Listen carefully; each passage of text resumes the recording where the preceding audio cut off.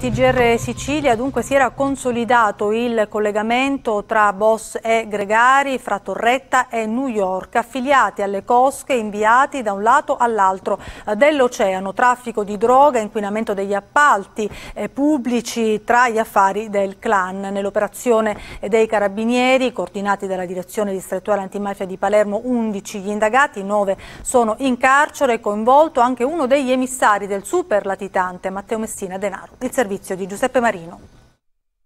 C'è gente che si arroga il diritto di dire che ha condizionato. Andiamo in appositamente.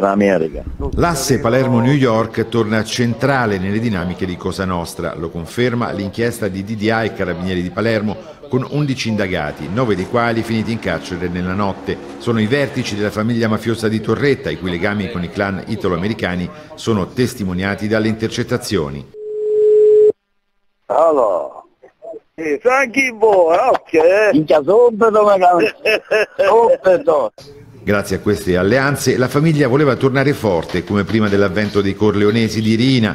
Un boss della famiglia Gambino era venuto apposta in Sicilia, ospitato in una villa con annessi piscina e cocaina. Il potere della famiglia, capeggiata da Raffaele Di Maggio, è dimostrato anche dall'influenza sugli appalti da Carini a Isola delle Femmine Capaci e anche sulle amministrative del 2018 a Torretta. Il comune è stato poi sciolto per mafia. La famiglia mafiosa di Torretta ha gestito sia la fase della campagna elettorale eh, delle elezioni amministrative del comune di Torretta, finalizzata poi ad averne un ritorno economico attraverso l'appoggio e la concessione di lavori.